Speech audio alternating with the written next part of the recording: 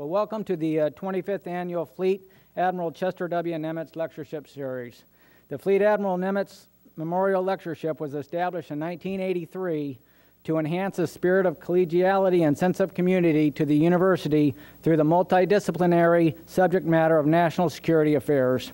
The Fleet Admiral Nimitz Memorial Lectureship annually brings to the University of California at Berkeley a distinguished scholar, a professional military person, or government official for a series of lectures on specific national security subjects.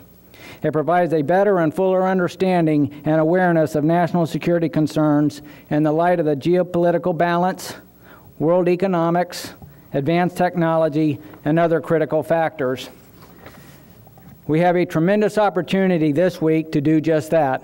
This year's guest lecture exemplifies all those things that we strive during, to uh, obtain during the Nimitz lectures and more. In addition to her distinguished academic credentials, she brings with her some very real time, hands on experience from the field that will provide a keen perspective on the issues at hand. Ambassador Barbara Bodine served over 30 years in the U.S. Foreign Service and primarily worked in the area of the Arabian Peninsula and Greater Persian Gulf issues. She specifically worked U.S. bilateral and regional policy issues, strategic security issues, counterterrorism, and governance and reform. Ambassador Bodine is currently a lecturer of public, public policy at Princeton University's Woodrow Wilson School of Public and International Affairs, where she teaches courses on the Iraq War. She also serves as director of the school's Scholar in the Na- Scholars in the Nation Service Initiative, an innovative intern and fellowship program for students pursuing careers in the Foreign Service. Her most significant Foreign Service tours were as ambassador to the Republic of Yemen from 1997 to 2001, as deputy principal officer in Baghdad during the Iran Iraq War, as Deputy Chief of Mission in Kuwait during the Iraqi invasion and occupation of 1990 1991, and again, only seconded to the Department of Defense in 2003 in Iraq as a senior State Department official and the first coalition coordinator for reconstruction in Baghdad. In addition to several assignments in the State Department's Bureau of Near Eastern Affairs, she was also the Associate Coordinator for Counterterrorism Operations and subsequently the Acting Overall Coordinator for Counterterrorism. She served as the Director of East African Affairs, the Dean of the School of Professional Studies at the Foreign Service Institute, and Senior Advisor for International Security Negotiations and Agreements in the Bureau of Political Military Affairs. Since leaving the government, Ambassador Bodine has served as Senior Research Fellow and Director of the Governance Initiative in the Middle East at the Kennedy School of Government, Harvard University, as a fellow at the school's Center for Public Leadership and its Institute of Politics, and the Robert Wilhelm Fellow at MIT Center for International Studies. She also serves as the president of the Mine Awareness Group America, which is a global NGO that provides technical expertise for the removal of remnants of conflict worldwide, and as well as a member of the Washington Institute of Foreign Affairs. Ambassador Bodine is the recipient of numerous awards, including the Secretary of State's Award for Valor for her work in occupied Kuwait. She is a graduate of the University of California, Santa Barbara, and the Fletcher School of Law and Diplomacy. I am both very pleased and most honored to welcome as our Nimitz guest lecturer this year, Ambassador Barbara Bodine. Please give Ambassador Bodine a very warm welcome.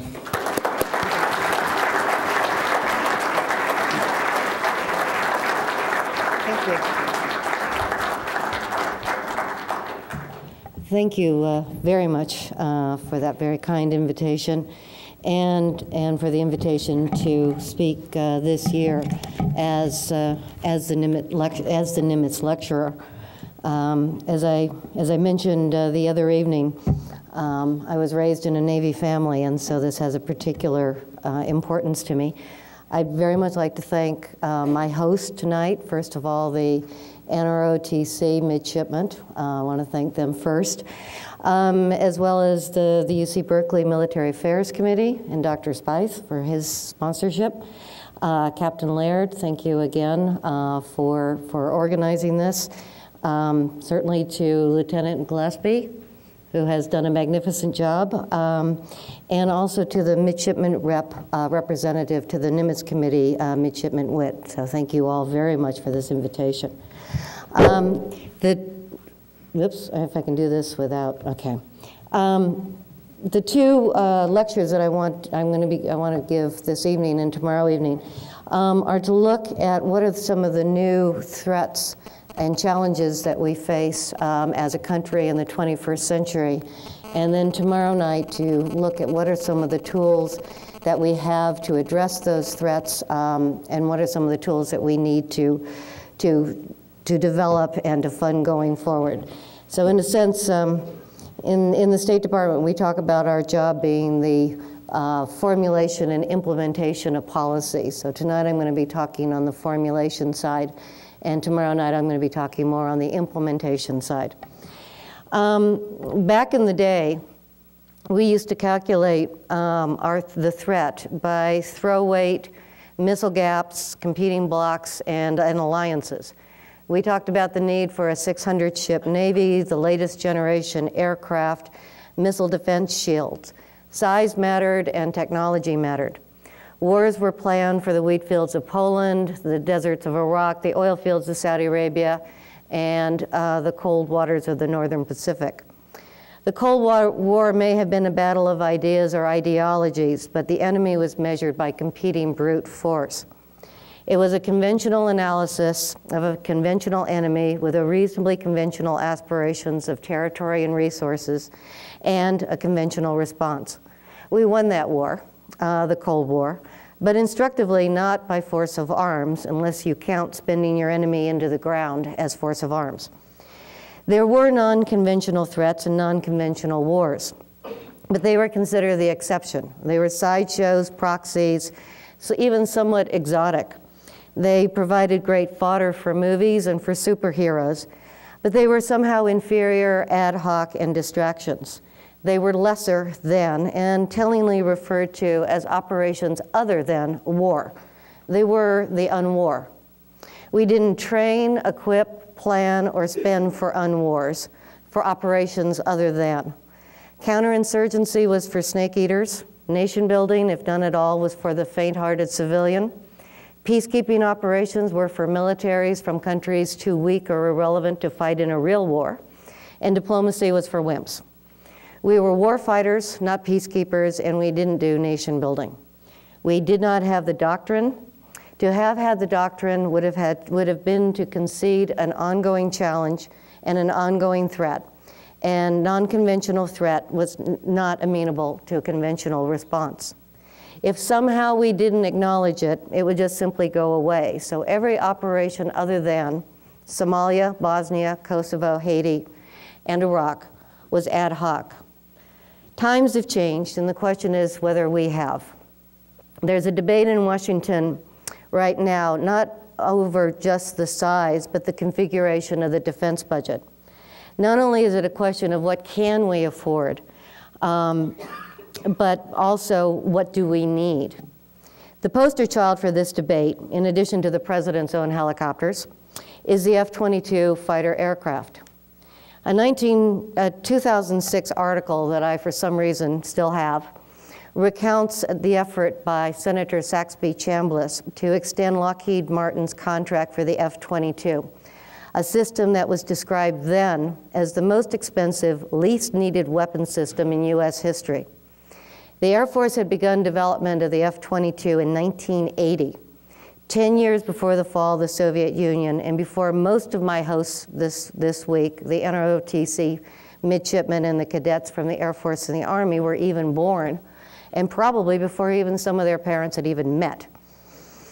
The F-22 met a threat that no longer exists from a foe that is now long extinct, and there is no comparable threat on the horizon. Regrettably, the Right Honorable Senator from Georgia won his battle in 2006, and the F 22 remains on the budget. Um, it is still stunningly expensive. I wish my own house had appreciated at the same rate, and it is equally unneeded. The Air Force hasn't been in a decent dogfight in years. More regrettably, the F 22 is not alone. During the Rumsfeld era, defense procurement policy married the strategies and assumptions of the Cold War with the technology of the new century. We went even more high tech. The Rumsfeld doctrine was predicated on the belief that technology would trump.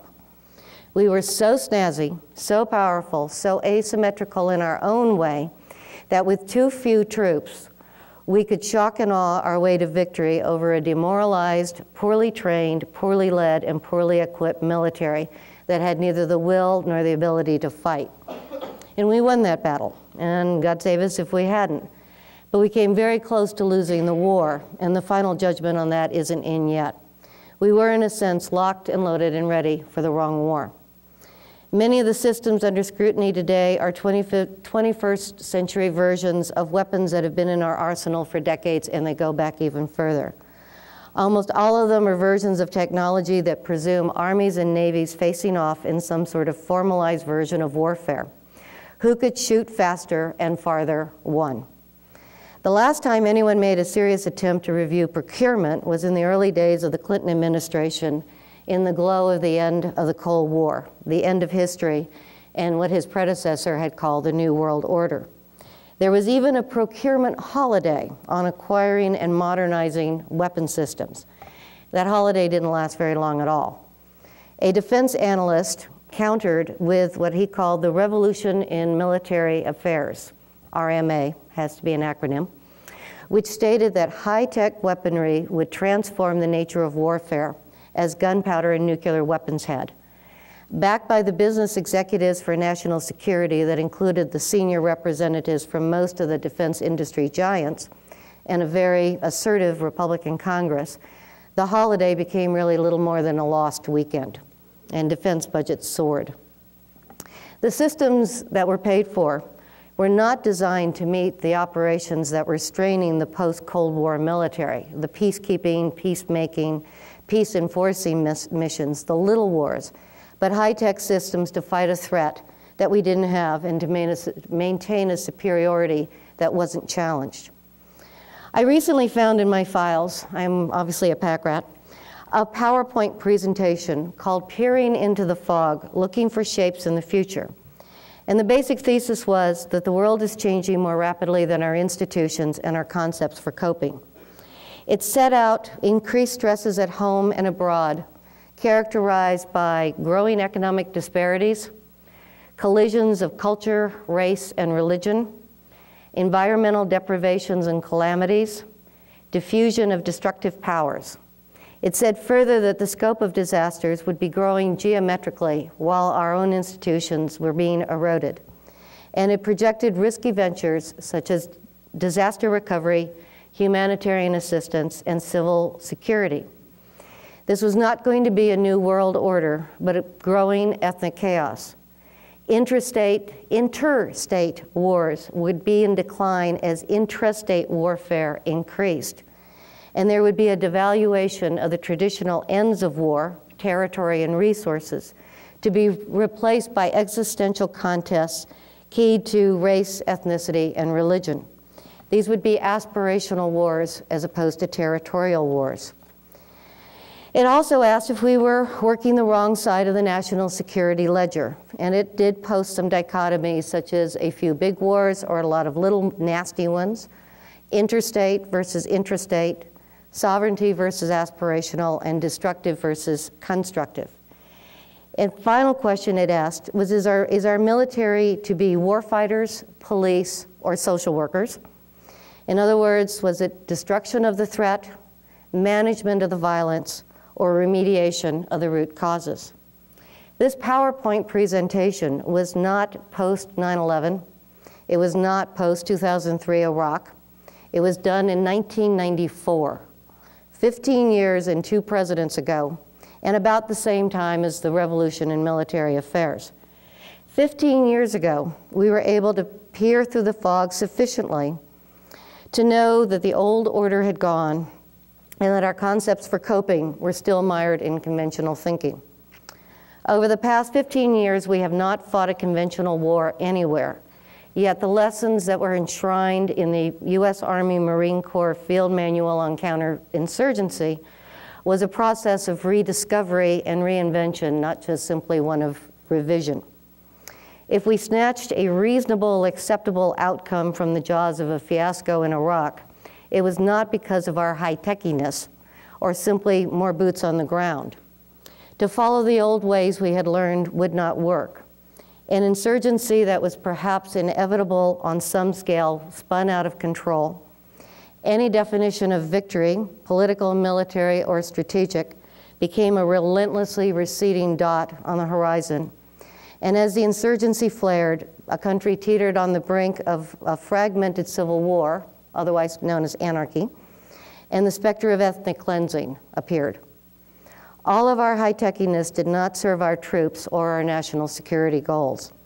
And to borrow a phrase, we went to war with the army and the doctrine that we had, not the one that we needed.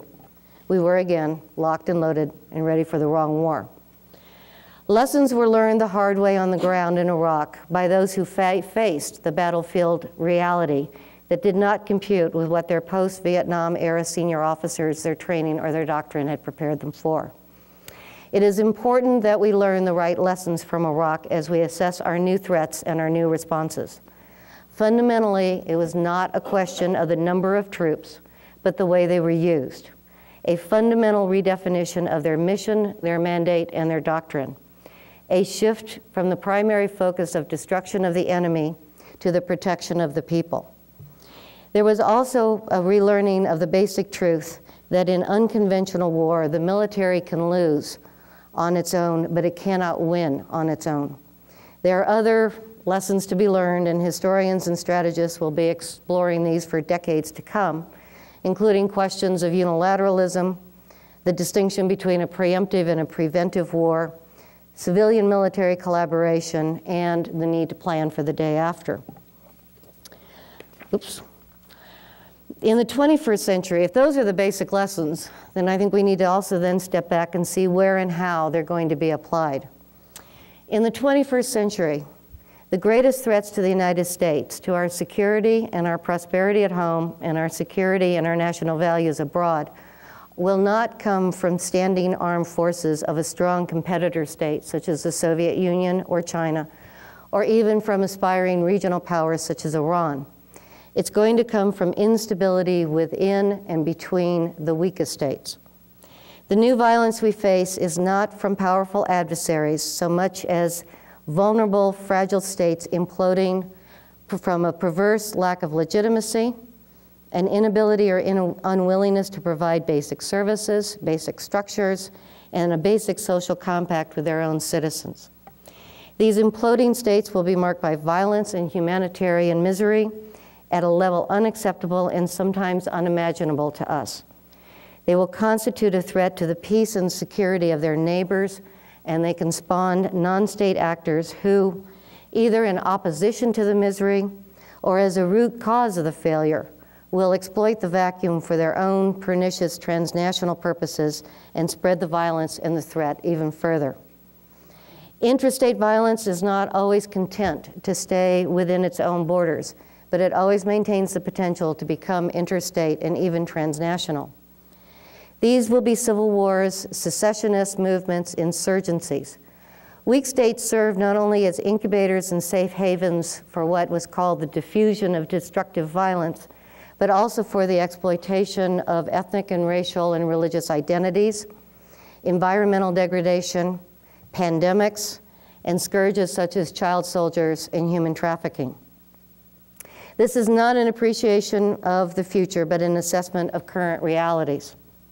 Incoming director of, well, incoming director of national intelligence, Admiral Blair, declared at his confirmation hearings and again last week in hearings before the Armed Services Committee the global, the global economic meltdown poses a greater threat to the United States than terrorism does. CIA Director Panetta now includes an assessment of the global economic crisis and its cascading impact on the vulnerable states and societies in the President's daily intelligence briefing. This is not an assessment of problems that we, uh, this is not just an assessment of problems we all face as we watch our own economy crumble or the reverberations of misery of this meltdown on fragile states around the world. It's also an assessment of the kind of instability that these implosions will precipitate. There's two corollaries to this new threat from weakness rather than strength. One is that the continuum from violence to from of threat and violence, inter, interstate and external, will be longer and more ambiguous than with conventional threats and conventional interstate violence. The good news is that this allows for greater opportunities for conflict and crisis prevention and mitigation prior to the requirement for military intervention. The second corollary is that the concept of clear post-conflict breakpoint for a shift from military civilian will be equally ambiguous. There is not yet a consensus within this country or the international community on whether and at what stage and how to respond. Whether it is a pre-crisis or early crisis responsibility to protect, what its friends call R2P, a mid-crisis right to defend, or a full crisis UN sanction obligation to intervene. But there is a recognition that this threat from fragile states cannot be ignored. If the threats to the United States and our interests and our values come from within the weakest and reflect political, economic, and social dislocations, then the tools at our disposal must also address the, the roots of these threats. The response may require military force, but it will not be the military first, rarely the military alone, and very improbably will it be conventional military. What for too long the military and defense planners considered unconventional warfare has therefore become the new conventional. Uh, going back to the counterinsurgency manual, despite the primacy of the political and the need for civilian agency partners during the stabilization phase, and I recommend all of you to chapter two of the manual if you haven't read it. The net conclusion does remain a military lead. And to a certain extent, this is understandable and appropriate. The Army and the Marine Corps cannot and should not write the manual or set the doctrine for civilian agencies. The default to the military lead also reflected the perception that the civilian agencies cannot or will not be full partners. And it, this is a reflection of the imbalance, particularly in resourcing, but also mission and mandates that has grown up over the past few years. The question becomes whether the imbalance and the lack of coordination is inevitable, irreversible, if the shift in lead um, is necessary in the current context, and whether the fundamental interagency process is antiquated and so broken that it needs to be replaced. And tomorrow I'm going to get drill down onto those questions and look at what is the toolkit for responding. But I want to go back and, and tonight look more closely at what are some of the, the nature of some of these threats. The economic issues, the identity issues, the environmental issues, the diffusion of, of destructive power. And I want to look at it through the prism of one particular part of the world, the Gulf, or as they've just tried to rename it in Washington, Southwest Asia, uh, which is that stretch of land. Whoops, I didn't mean to do that. How do we get back? I don't, this is a fascinating map and I have no idea. It's really old. Um, this is not where we're going, that's where we were. How do I get this thing back? Back arrow. Ah, cool. I'm State Department, we don't do techie stuff. Just do that right down there. Um, anyway, I want to look at it from this, from this area of the Tigris and the Euphrates to the Indus Valley. Um, Southwest Asia is, a, is, is maybe technically accurate. I don't particularly like it. It is confused with Southeast Asia and it overlaps with the Middle East. And anytime we, on the outside, start drawing lines in the sand in that part of the world, it is always hazardous. To be clear, so I'm going to stay with the Gulf, and what I'm really talking about are the six states of the Gulf Cooperation Council and their immediate neighbors. The Gulf, we have a tendency to think of as a what, not a who, and we, can, we tend to think of the Gulf as something that is dependent on us. If Americans think of the Gulf at all, they have a tendency to think of Louisiana, Texas, Alabama, Mississippi, maybe Florida, or Dubai and indoor ski slopes. Women in black veils, old men with glowering visages, and young men with guns. The Gulf is that foreign oil that we must become independent of. To our military, it is one near contiguous chain of military bases. But to see the Gulf as, as one of their dependence on us is incomplete.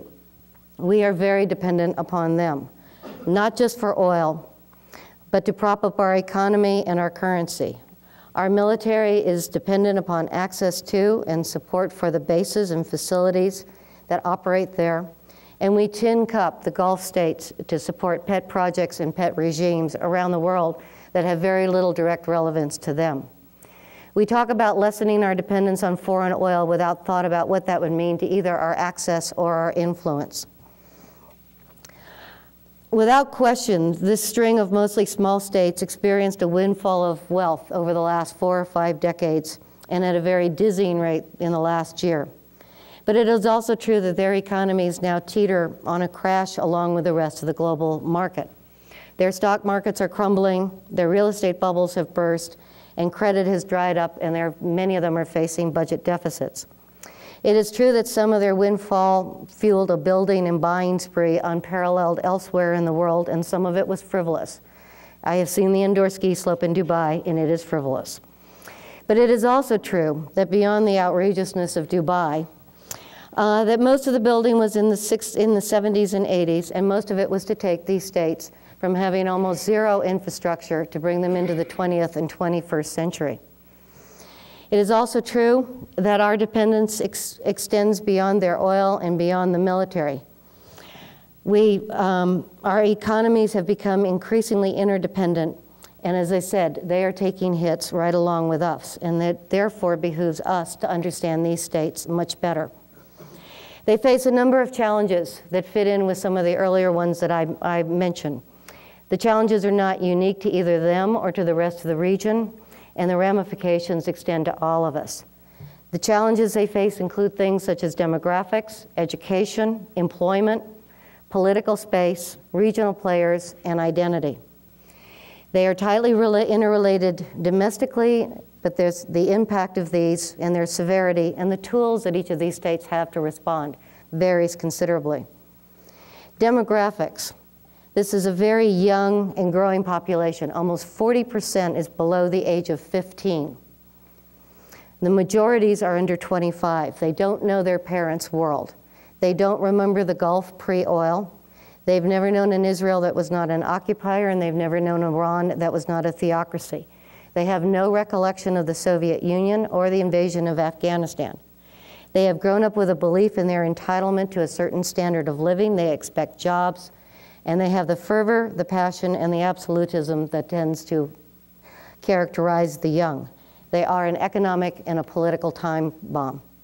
Employment, there is a need to create tens of millions of jobs to absorb this youth bulge. They already suffer from unemployment and underemployment. In the Gulf, their economies are high tech, not labor intensive, and agriculture is not an option. The government sector can only absorb so much. They see education as a birthright, and for the best and the brightest, they go to our very best universities. For the next, our best universities are going to them. But the quality of their secondary education is substandard for the demands of their own 21st century economies. They were bypassed by the Industrial Revolution, and their challenge now is not to be bypassed by the knowledge or the information revolution as well brings me to the, the next set of challenges, and that is reform. Someone's got their cell phone on. Um, reform in, in, this, in these Gulf states and in a lot of these areas, the, there is a very dynamic debate going on, much of it outside of our understanding and, and very much underneath our radar, on what is going to be the relationship between the government and the governed. There is a, a, consensus that to go back to the 19th century is probably not the best option. They have tried any number of Western models and found them wanting. And there is an understanding, however, that the status quo can't be maintained, that this is a very different generation and that they need to move forward. What they have not decided yet is what that option D is going to look like. Right now, the regimes and the fam ruling families in this region have proved to be extraordinarily adaptable and flexible, far more so than many of the so-called republics. But their ability to continue with this adaptation if their economies start to contract is going to be a major challenge. Oil wealth can be both a curse and a blessing. For most of these Gulf states, it has been a blessing, and it has been one in the recent past that they have managed to spread to the rest of the region. But again, as the global economic crisis continues to hit them, their ability to maintain their investment strategies, their labor create the employment creation that they are doing in the rest of the Middle East, which is important to our interest, is going to be called into question. Um, I'm going to skip over this I because I want to get to the last major issue because I think this is this is a core issue in this region and around the world, and it really does inform these new threats that we have to we have to deal with, and therefore the tools, and that is the question of identity. Um, identity is central to all of the new political realities and to the, all the new vulnerabilities in the 21st century. Indeed, it is one of the key problems in the entire developing world, as there is a quest for genuine and, and convincing inclusivity uh, within some sort of a nationalism or a national ideal. If we go back to the basic elements of those shapes in the fog, if we go back and look at the elements of the new violence, nationalism and identity politics, or the lack thereof, or the disintegration thereof, or the search thereof, this lies at the heart of the instability of economic disparity, of the collision of cultures, race, and religion, and the diffusion of destructive powers. It is the aspiration in the aspirational warfare. Um, and even though it may not cause national, natural disasters, it can very much affect a state's response. Identity politics is at the core of Iraq's descent into chaos. Our inability to understand identity politics, I think, led to many of our fatal mistakes in Iraq. And how the Iraqis ultimately defined their national identity is going to define their future. Identity is the gin behind ethnic chaos around the world. It is the operating assumption in Huntington's Clash of Civilizations, and it shows itself in things like Rwandan massacres. I don't want to leave the impression that it is wholly a negative. It can be the dynamics of a very pluralistic society. It can create the centripetal forces that can hold a state and society together, as well as the centrifugal forces that pull it apart. It is a very powerful force that most Americans are uncomfortable with and don't, are not able to project onto other societies. It can be a positive role in its broadest and most meaningful, in creating a broad and meaningful unit of cohesion it can also be narrow, intolerant, racist, and can become the lead horseman of the apocalypse. In the Arab world, the debate rages, often, as I said, under our radar screen as to how this region is going to define itself.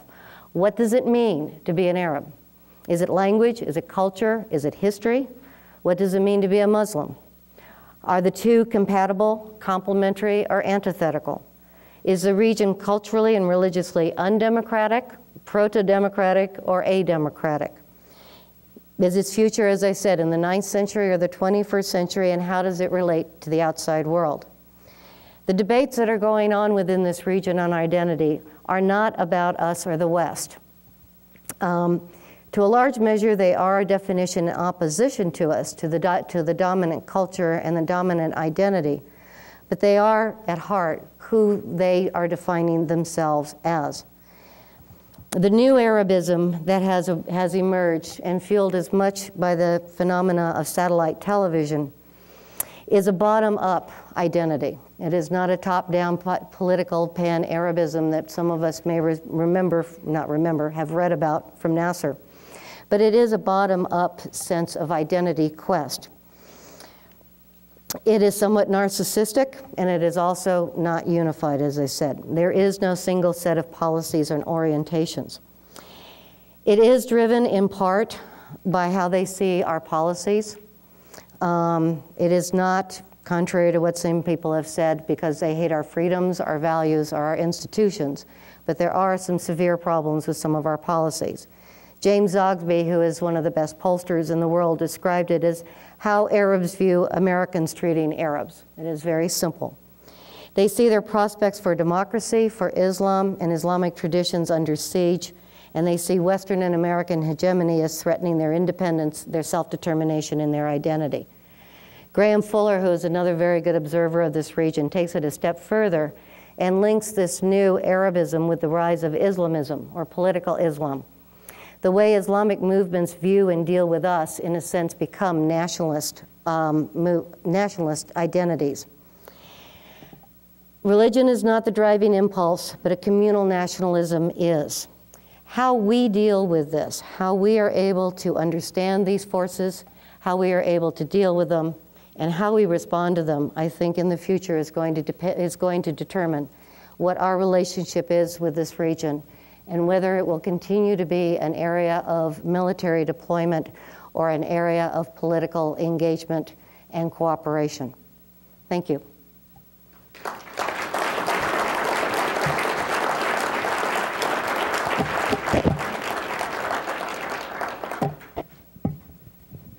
We will uh, now open it up for uh, questions and answers. Uh, who's got the uh, mics?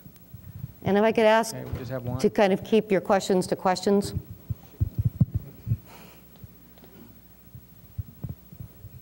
And uh, there's a gentleman right here. Ambassador, you just mentioned that uh, the Arabs uh, view us as a threat. There are a lot of people uh, who view them as a threat to Western civilization because of the dominance of their increasing birth rate in Western Europe and in Russia, and because of a lot of events that have been occurring here in the U.S. and Canada. Are we off base on that? Um, well, I think, yes. Um, I think it's, we do a, a, major disservice if we think, I, I do not see either Arabs per se or Islam per se as a threat to us. Um, and the kind of threat that I'm talking about that they're seeing, and there is this, this um, what uh, Shibley Telhami calls a clash of prisms, is one of um, an embattled culture as opposed to a direct military threat. There is a sense of, of, of certainly when they look at Iraq and, and some other places, of it being direct but it's one more of an embattled culture, an embattled identity. Um, I think that, you know, if, if we start looking at all Arabs as a threat, all Islam, all Muslim as a threat, that we are lumping an entire culture and an entire region, an entire society based on the actions of a very, very small group of people who don't represent the mainstream, of either this national culture or this religious identity. Um, the vast majority of people in this region, the, certainly the vast majority of people who trace their roots to this region, are not inimicably hostile to us. They are not a direct threat to us. Um, there were some, you know, particularly in the last couple of years, this idea that, you know, all Arabs are Muslim, all Muslims are terrorists, and therefore um, I have some friends that anytime they go through Dulles Airport, no matter how many times they go through Dulles Airport, it takes them three or four hours to be cleared, and it is almost solely because of their name. Um, this is not an, an, issue of inimical hostility. Um, we can make it one of hostility. We can make it look as if it is one of two cultures besieging each other. Um, having lived most of my life out there, um, there is not a sense of an existential threat to us. There is not a sense of wanting to bring down our system, our values, our people, or anything else. There was a small group that wants to bring down some of our, our buildings, absolutely. But to sort of extrapolate that to an entire region, to extrapolate that to an entire culture, to extrapolate that to an entire uh, religion, um, would be about, would, would make about as much sense as um, believing that, you know, anyone who is partially Irish is a member of the IRA, provisional IRA um, that everyone from Michigan is you know, equally culpable for Timothy McVeigh and what happened in Oklahoma City. Um, I think you need, to, you need to make a distinction between small groups with their own ideology and their own agendas and a culture that they are perhaps exploiting but don't necessarily represent.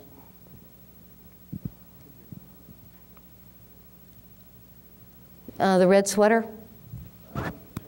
You. Uh, We need to get the mic because,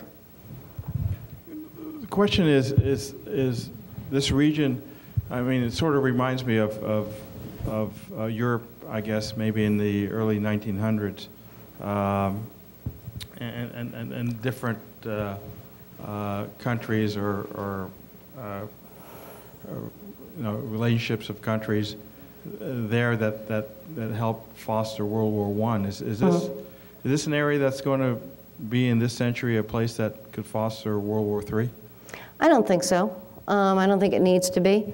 Um, And I think one of the things that's, that's important to remember is that this is a very, very diverse region. Um, The Gulf region is, is one particular political ecosystem, if you like. Uh, The Eastern Mediterranean countries are perhaps another, and North Africa is another. And even within those regions, you have vastly different political and social systems. Um, I don't see it as necessarily being the root of World War III. Um, and I don't think the people there particularly want to be the root of World War, the, the roots of World War III. Um, the kinds of threats that I was talking about, these new vulnerabilities and these new threats, um, are not just confined to this area. Um, in many ways, many of them are, are just as, as pronounced and perhaps even more so in Africa. You have elements of them in, in Asia. You have elements of it in Latin America, particularly when you add the global economic crisis and what it is doing to, to undermine an awful lot of governments and their, the perception of legitimacy um, that they have. This does not have to be the Armageddon, and I don't think that it, it if we are, if we will engage with it as a region of sovereign states, of sophisticated populations, of uh, partners in global economic issues, global financial issues, um, and people that in many ways we share far more in terms of common values and common goals than we do than we have differences. Um, the unfortunately, and, and this is just the nature of, of journalism, um, the most extreme, the most violent, the most horrific is what ends up in the papers. Um, the extent to which there is a debate going on on identity definition within this region, you know, who are we going forward in the 21st century, does not mean that has to be in opposition to us or in conflict with us um, on any level, either cultural conflict or certainly a violent conflict with us. They can define their own identity and it can run in parallel to a Western identity. It doesn't have to be in conflict. And I, I very, very much disagree with the fundamental assumptions and what has been taken from Huntington's Clash of Civilization. Uh, there are any number of civilizations around the world that are very different from ours, and yet we're not in conflict with them. The Indians have a very different culture. We don't see that as necessarily antithetical or hostile. The Chinese do. Uh, any number of, of, of, them do. And so I think that as this region is going through these uh, internal debates and these are in, internal issues of uh, definition, political structure, social structure, we don't need to see this as a conflict. We don't need to see this as a threat to us. Uh, we don't need to see this as a source of violence against us. Um, we can create that um, by creating this sense of, of um, besieging their culture, that somehow we do see it. I mean, one of the ironies of, of Huntington's Clash of Civilizations is that many people in this region, and I think some other regions, saw, this, saw that almost as a declaration of war on them, um, in a sense that uh, we were there to, uh, that, that we had a war on Islam. We had a war on Muslims. We had a war on their societies and their traditions and their cultures. And to the extent that they found, found themselves besieged, you do have a tendency to get a reaction. Um, and so part of what I'm talking about is engaging with them as they are and allowing them to develop. I, I, don't think that this is 19th century. These are very sophisticated states. These are fully formed nation states. Um, even though the, I, there is an element of Arab identity debate going on, it is not at the proto-state, proto-nationalistic level. Um, these states exist, and these, nation, these, these national identities exist. There's just a deeper identity debate going on, but it's not hostile to us. It's not a threat to us. Yes, sir.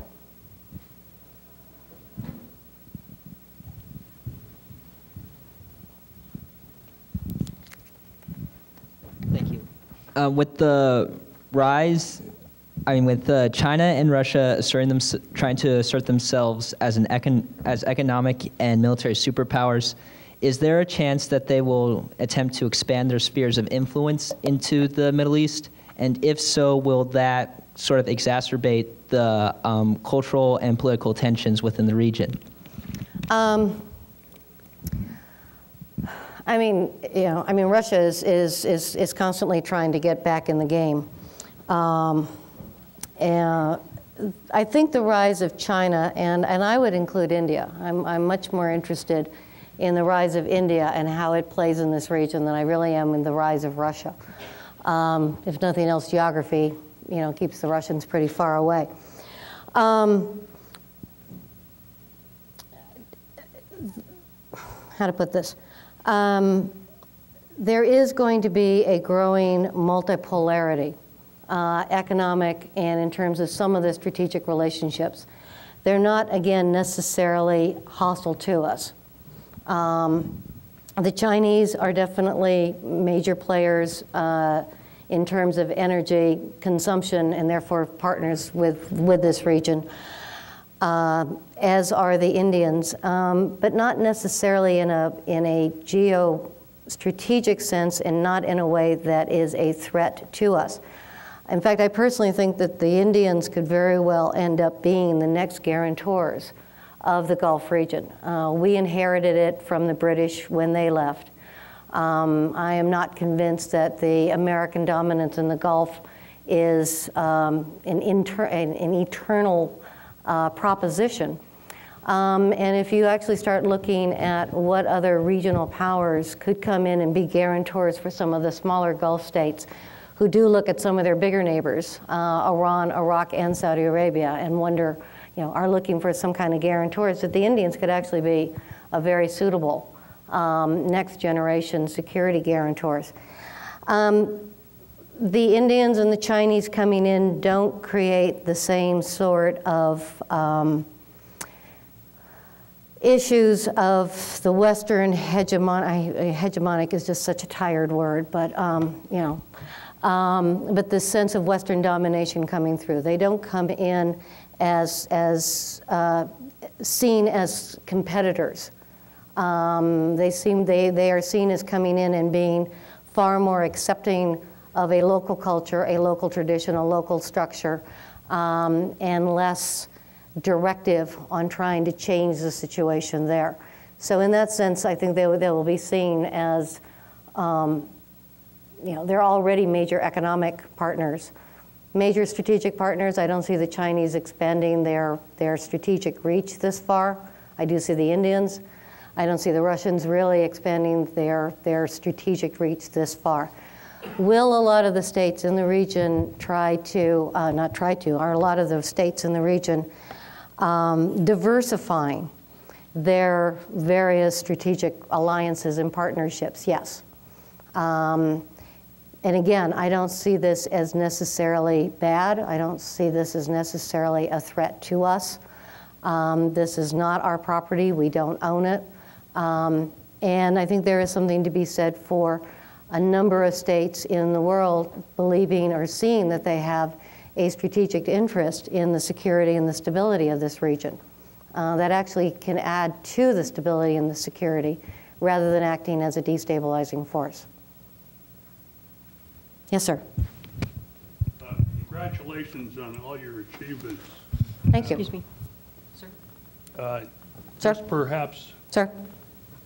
oh, congratulations on all your achievements. Uh, This requires perhaps uh, uh, some speculation on your part regarding your background and experience. However, and I do accept uh, this identity crisis, if you will? Mm, Identity issues, it's not a crisis, but go ahead. Thank ahead. you. Whatever clarification's required is. Presuming Iran obtains a nuclear weapon, will they become a force to tar, not necessarily with the United States, but a force to tar relative to an identity solution to the crisis of identity within the Middle East? Um, Iran is, is a major player in this region already. And, and if, you know, just simply looking at the map, um, no country that large, you know, cannot be a player. Um, whether or not we're dealing with Iran, everyone else is. Uh, they are, they would like to play a greater role than they do, um, irrespective of whether they have nuclear weapons. Um, and that goes back to the Shah. That is not a post Khomeini, post Iranian Revolution ambition. It's a very long standing um, ambition. Uh, they are an element in the debate in the sense of um, that element of the internal identity debate that comes down to what is the role of religion in politics. Um, Islam has a much greater role in day to day life than it does for most people of either Christian or Jewish background or anything else. So the question of how do you bring, you know, religion, Islam into your political life um, is one of the core elements of this, this debate that's going on. And Iran, as the only theocracy out there, um, is at least a not a model to be emulated, um, but does inform some of the debate. And in fact, some of it is this is not where we want to go. We don't want a theocracy. Um, so, as, as the Iranians have set up, we don't want to be ruled by the mullahs. We don't want to be ruled by, by what they see as a, as a somewhat medieval um, ideology, um, political philosophy. So in that sense, it, it, already it already informs it.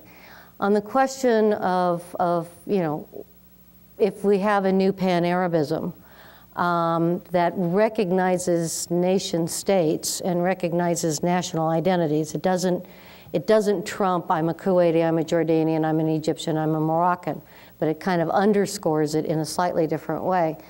The Iranians are not really players in that debate. Uh, they're Persians. Uh, they're Iranians, and they're seen and see themselves as very different. Um, whether or not they have a nuclear weapon is, I, is an issue of concern to the countries in the region. Um, but they don't see the Iranian, if the Iranians decide to go for a weapon, and that is a question that is still hotly debated by intelligence people, um, they don't see it directed at them in any event. One of their, their the two concerns that they have about uh, the Iranians deciding to weaponize their nuclear capacity is one is a very simple one. As I was in I was in the Gulf the end of January, and the Kuwaitis uh, point out that the the major Iranian nuclear facility is right across the Gulf from them, and um, they're very concerned about a Chernobyl-like accident, uh, and they asked the Iranians at one point if their technology was Russian or French or Japanese or where they were getting their nuclear power plant technology, not weapons, but just power plant technology. And they said they were not at all uh, relieved to hear that it was Iranian technology. Um, this was not the answer they were looking for uh, because the way the prevailing winds go, that if there was a nuclear, if there was an, a Chernobyl-like accident in Iran, it would hit the Gulf states. So that's their first concern. Their second concern is that if Iran were to weaponize, um, what this would do in terms of outside powers, us or someone else, trying to come in and deny them that capability militarily. And you can almost take the concerns about a Chernobyl like cloud um, as a metaphor for their concerns about um, any military action to try to stop the Iranians from having nuclear weapons, that the, the response to that would also end up on their doorstep. Uh, so they're very conflicted over that. And what they would prefer, um, and there, there is that Iran be allowed to go ahead with a nuclear capacity, a nuclear capability, um, nuclear power, that's fine. Um, and that there be some sort of accommodation between Iran and the rest of the world, that the Iranians don't feel compelled from their own point of view to go weaponized. And so what they're hoping is that there is a political accommodation that keeps the weapons issue from happening, from being, from coming on the table. Um, from the Iranian point of view, they are going to go, they are going forward with weapons, with nuclear technology, weapons capacity. Um, and that's a done deal.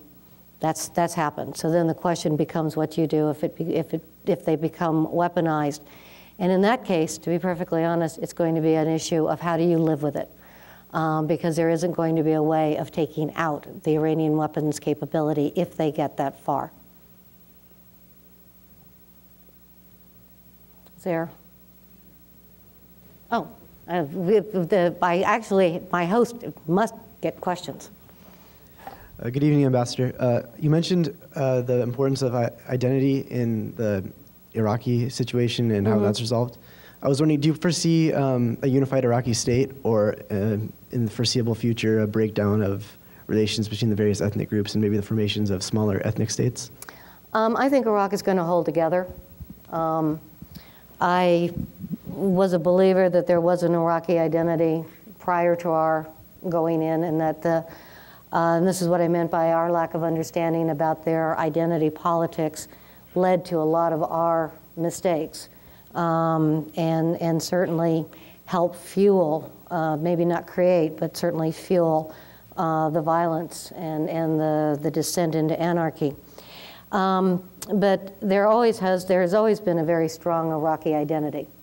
Um, and I think one of the things, and this gets back to this whole question of, of identity politics, is that we don't seem to be able to give them credit for being able to hold multiple identities simultaneously. And, and I, play a, I play a very nasty game on my students every year where I ask them to give me five descriptions of themselves and I'll get, you know, New Yorker, um, soccer player, history major, on and on and on, stuff like this. And I'll say, well, you know, it's, it's interesting that not a single one of you mentioned that you're a Princeton student. Well, they didn't need to mention that because that was a given in the room. And so I think one of the mistakes that we did is when we talked with the Iraqis, they would identify their other identity, not an over, well, you know, not, not the, the, um, the overarching one because that was a given.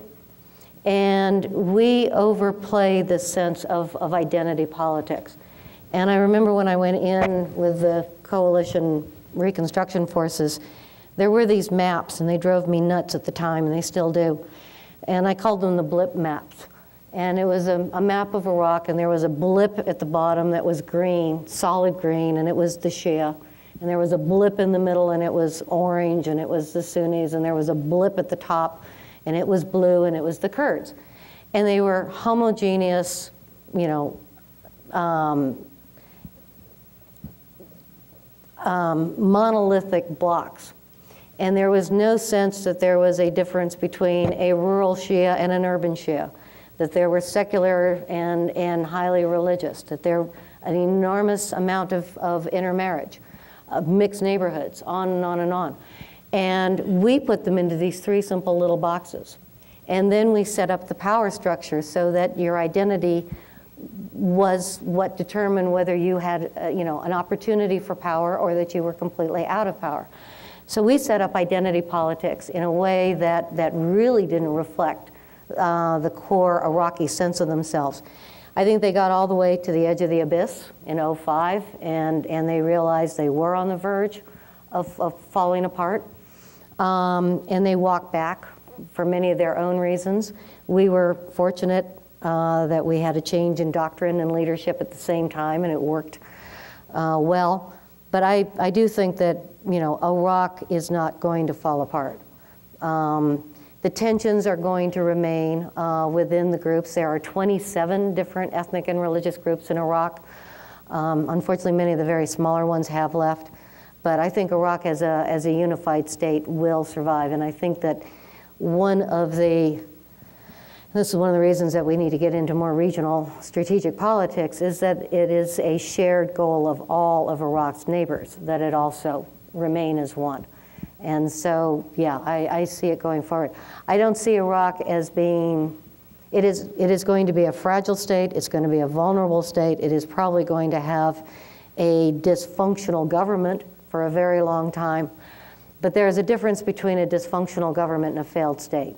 And, and I think that we're going to have to accept the former and understand that doesn't necessarily mean the latter. Way in the back.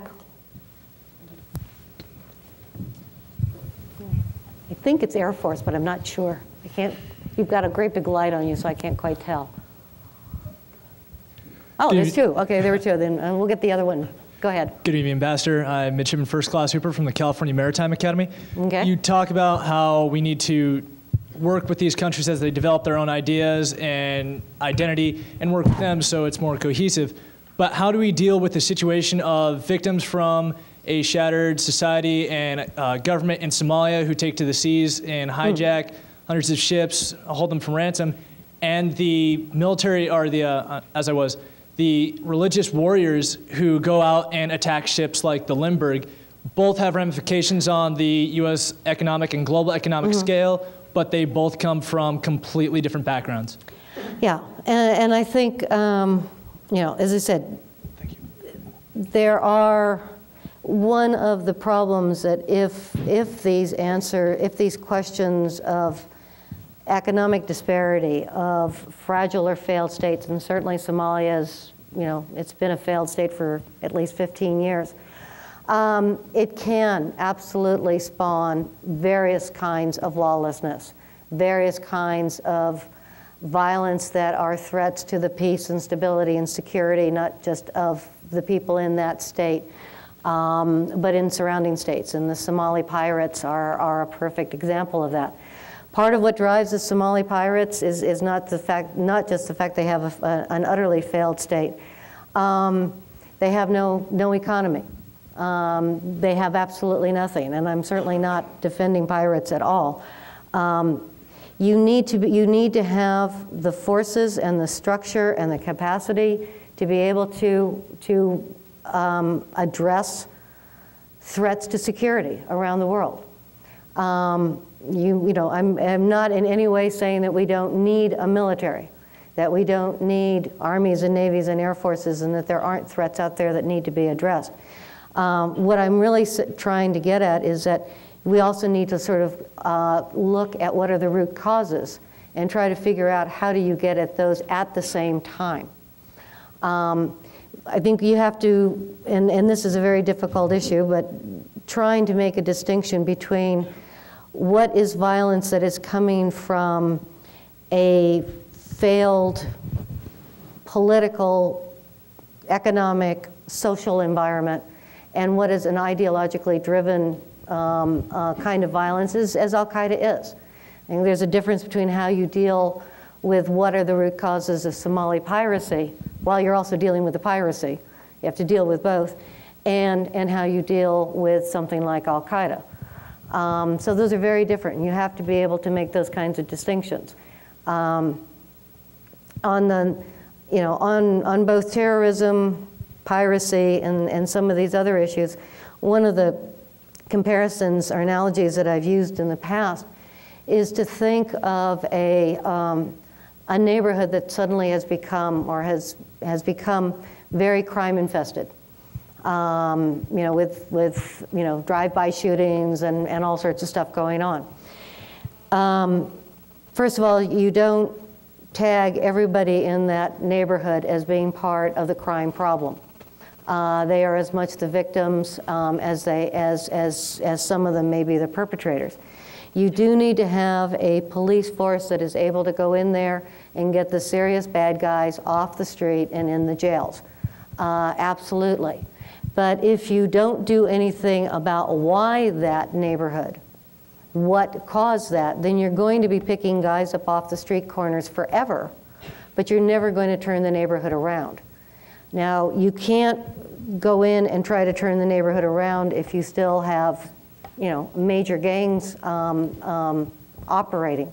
So how do you do both? How do you recognize both?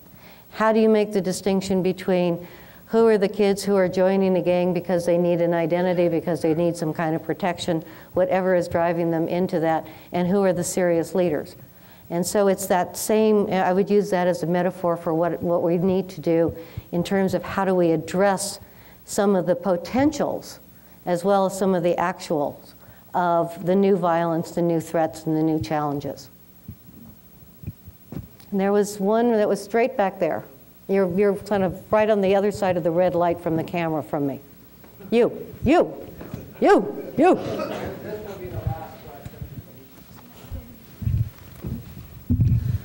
Hi. Um, in the uh, declining global economy, do you see an escalation in violence between Israel and Palestine in the possible future? And if so, how could that affect the U.S. economy or, or, or state? Yeah. Um, Israel Palestine. Um, one of the decisions I made early in my career is to specialize in the Gulf. Um, uh, there is an economic element to the Israeli-Palestinian problem. There is certainly going to, has to be an economic uh, component to any long-term solution to that problem. Um, and, and to the, in those periods when, when it, it has looked more hopeful, um, has, it, it, has been coincident with times when um, there has been a sense of some economic hopefulness on the part of the Palestinians, uh, not just political. Um, so it has to be part of the package, and, and there is no such thing as, as a purely political solution. There's also no such thing as a purely security solution to it either. Um, one other, one other element, and I think this is something that, that it certainly predates um, the global economic crisis, and, and, it'd be easy to start blaming everything on that. Um, but a lot of these issues certainly had their roots going, going much further back.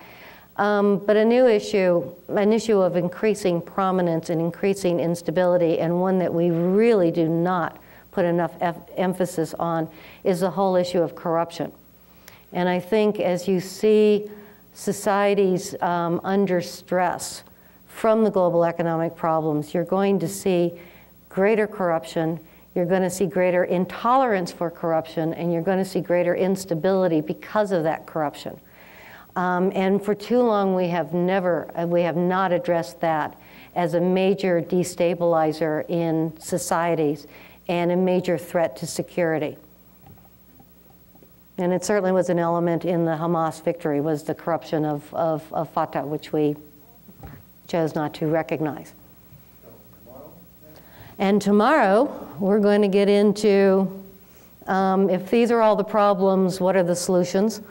Um, or not necessarily the solutions, but um, what are the tools that we need to have as a country, as a government, as a society to address these broader kinds of threats, to try to address them before they become a crisis where the only tool left is to send in the military. How do we get ahead of the curve?